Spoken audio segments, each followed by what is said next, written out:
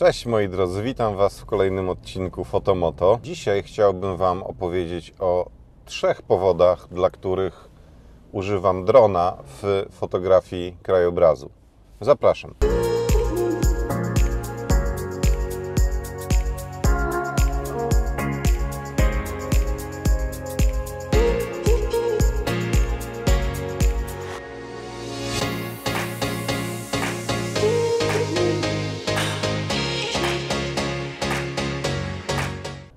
Witajcie. No więc po co dron? Dlaczego dron i, i, do czego może się Wam przydać? Do czego mi się przydaje? I jakie są te trzy powody, dla których dron zawsze jest ze mną, kiedy jeżdżę na zdjęcia krajobrazu?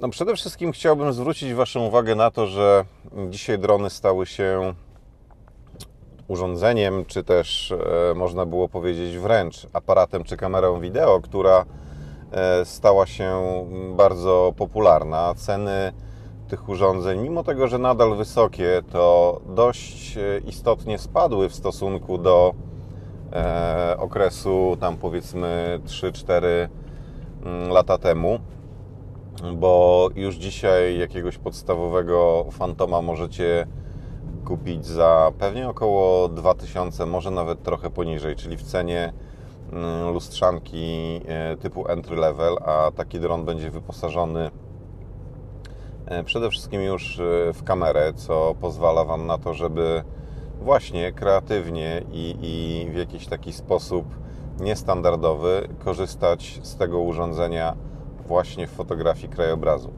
Ja, jak wiecie, korzystałem mm, z Fantoma 3 Advanced, a później zamieniłem go na Mavica Pro, którego mam do dzisiaj. E, ten Mavic jeździ ze mną właściwie zawsze na zdjęcia. Może rzadziej jest wykorzystywany, e, ale to w dużej mierze zależy od warunków pogodowych i miejsca, w którym jestem. Pamiętajcie, że latając dronem należy zachować e, bezpieczeństwo, należy zachować zdrowy rozsądek przede wszystkim i zadbać o to, żebyśmy no, nie latali w miejscach, które nie są do tego przeznaczone, nie latali na wysokościach, na których e, możecie stworzyć niebezpieczeństwo dla ruchu lotniczego.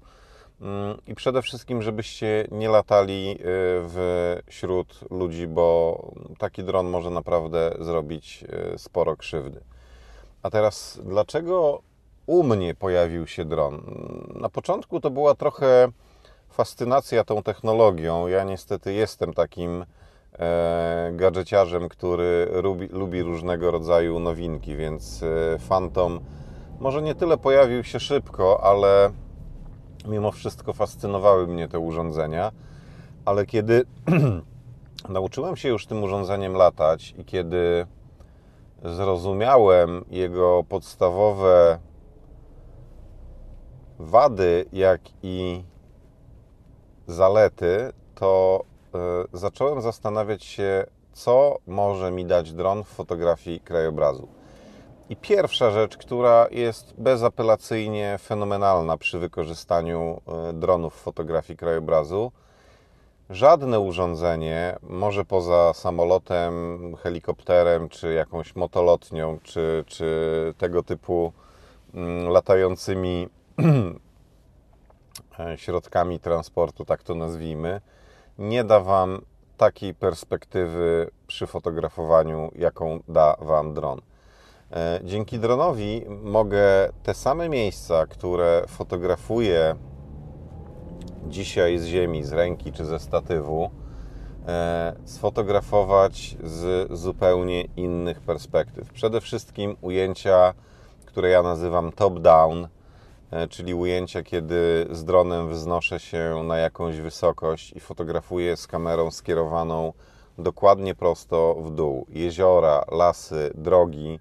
Mm, to, co możecie teraz zobaczyć tutaj w tym małym okienku na zdjęciach obok, to są właśnie zdjęcia wykonane, wykonane dronem z takiej perspektywy typowo, typowej top-down. E, te te tereny, które fotografujemy w takim, mm, wykorzystując taką technikę właśnie mm, skierowania kamery w dół, wyglądają zupełnie, zupełnie inaczej niż wyglądają one przy fotografowaniu ze statywu czy przy fotografowaniu z ręki, czyli generalnie z poziomu e, gruntu, tak to nazwijmy. E, I to jest rzecz fenomenalna, którą wręcz uwielbiam w fotografii krajobrazu. Mm, druga rzecz to również związana z perspektywą. To są ujęcia, które możemy wykonać e, z nieco innego kąta. To znaczy, nie wznosimy się naszym dronem jakoś bardzo wysoko, natomiast wznosimy się wyżej niż powiedzmy E, nasze możliwości, włącznie z tym, że stanęlibyśmy na drabinie, czyli wznosimy się na jakieś kilka czy kilkanaście metrów i fotografujemy e, z takiej perspektywy, co e, pozwala nam na to, żebyśmy uzyskali dość nietypowe kąty, dość nietypową, dość nietypowe kadry, których nie uzyskamy właśnie z aparatu. Bardzo często trafiają do mnie od Was takie pytania, ale w jaki sposób sfotografowałeś to, czy to, czy to miejsce mając tak interesującą perspektywę? Otóż właśnie zamiast fotografować lustrzanką, fotografowałem po prostu, e, po prostu dronem i tak jak powiedziałem, nie zawsze musicie, mimo tego, że możecie, nie zawsze musicie tym dronem lecieć bardzo wysoko, typu 50-100 metrów czy kilkaset metrów, co robią niektórzy, e, na co zwróciłbym też uwagę, bo nie jest to e, zbyt mądre i rozsądne. Więc perspektywa patrzenia mm, dronem to jest rzecz numer jeden, która e, dla mnie wydaje się ogromną wartością dodaną przy fotografii e, krajobrazu. Rzecz numer dwa, e, trochę związana z tą perspektywą patrzenia, to jest możliwość fotografowania miejsc, których normalnie nie sfotografowałbym, dlatego że nie miałbym do nich dostępu. E, to może wynikać z wielu rzeczy. To może wynikać z tego, że nie wiem, tam gdzie jadę, mm, woda nie pozwala mi dotrzeć w miejsce, które bym chciał sfotografować. Prosty przykład: Wisła, na której znajduje się wiele mniejszych, większych wysepek, na które nie dotrę, na które czasami nie sięgnę nawet teleobiektywem. E, mając drona, mogę przemieścić się od siebie w kierunku takiego miejsca. Czasami 200, 300 czy 500 metrów wystarczy. Nie muszę latać kilometra, dwóch czy trzech i dotrzeć do tego miejsca i sfotografować sobie to e, dokładnie tak, jak zrobiłbym to lustrzanką, ale właśnie nie zasuwając bo mm, piechotką czy, czy, czy samochodem, bo nie mam takiej możliwości. Generalnie rzecz biorąc, bardzo często w lasach, właśnie na jeziorach, Mm, czy, czy, czy rzekach, czy na jakichś dużych, otwartych przestrzeniach, które, e, których nie możemy eksplorować ze względu na ograniczenia tego terenu. Tak? Nie możemy dopłyno, dojechać, nie możemy dopłynąć, bo nie mamy łódki czy pontonu, nie możemy dojść ze względu na to, że jakieś miejsce jest schowane głęboko w lesie i właściwie e, gęsta e, szata leśna nie pozwala nam na to, żeby do takiego miejsca dotrzeć. Wówczas właśnie możliwość skorzystania z drona, wzniesienia się na jakąś wysokość, która będzie bezpieczna, a jednocześnie pozwoli mi ominąć te przeszkody, które mam na drodze, mm, pozwala mi dotrzeć do miejsc, które mm, są gdzieś tam schowane, gdzieś tam e, czasami widoczne, czasami mniej widoczne i te miejsca sfotografować i dają mi takie e, takie miejsca, mm, możliwość stworzenia kadrów, których mimo tego, że inni fotografowie byli w tym miejscu, fotografowali w tym miejscu, to mimo wszystko nie zrobili takich kadrów, bo nie mieli takiej możliwości ze względu właśnie na problemy z dotarciem gdzieś dalej, gdzieś głębiej e, i, i e, wówczas ja mam taką możliwość, żeby dronem E, takowe miejsca sfotografować i zrobić coś, co wygląda e, inaczej, mimo tego, że fotografowane w tym miejscu, gdzie wielu już było. I rzecz trzecia, która jest e, również niezaprzeczalnym atutem i którą chyba wykorzystuję najczęściej, jeśli chodzi o drona, to jest, moi drodzy, możliwość eksploracji terenu, w którym fotografuję. E, tak jak przed chwilą powiedziałem, mm, poza tą inną perspektywą, poza możliwością dotarcia w miejsca, które, w które normalnie bym nie dotarł, mm, dronem bardzo często, nawet tak jak ostatnio e, na Mazurach Garbatych, e, te zdjęcia, które Wam pokazywałem, na przykład bagna z góry. Możecie je teraz zobaczyć też tutaj po lewej. Mm, to jest jakby niezaprzeczalna wartość, dlatego że drona mogę wysłać tam, gdzie sam nie dojdę i zbadać sobie, jak co oferuje mi dany teren, a może w ten sposób, ponieważ e, bardzo często mm, trudno dostępne miejscówki, albo inaczej takie, które wydają się trudno dostępne lub niedostępne, po tym, kiedy e, przelecimy się nad danym terenem dronem, możemy odkryć jakąś drogę, możemy odkryć jakiś leśny dukt, możemy odkryć jakąś ścieżkę.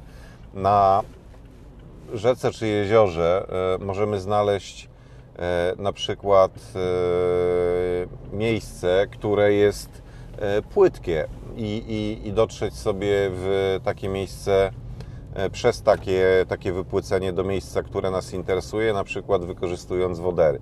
Więc ja bardzo często, kiedy docieram do miejscówki, w której chcę fotografować i widzę gdzieś w okolicy coś, co mnie może zainteresować, e, puszczam sobie tego drona e, w powietrze i e, słuchajcie, po prostu latam nie fotografując, latam nie filmując, chociaż filmowanie z reguły mam włączone, bo takie materiały przydają mi się również do filmów z moich wypraw fotograficznych.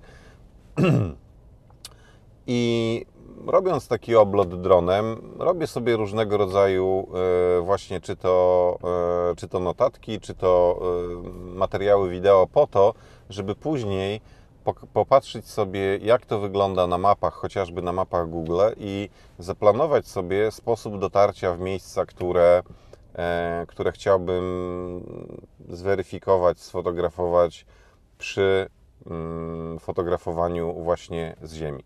Więc tak jak powiedziałem, to są trzy rzeczy, które moim zdaniem dron daje Wam w fotografii krajobrazu, daje mi w fotografii krajobrazu i które są mm, absolutną e, wartością dodaną i e, poszerzają możliwości, które macie, mm, kiedy fotografujecie właśnie krajobraz, kiedy fotografujecie pejzaże.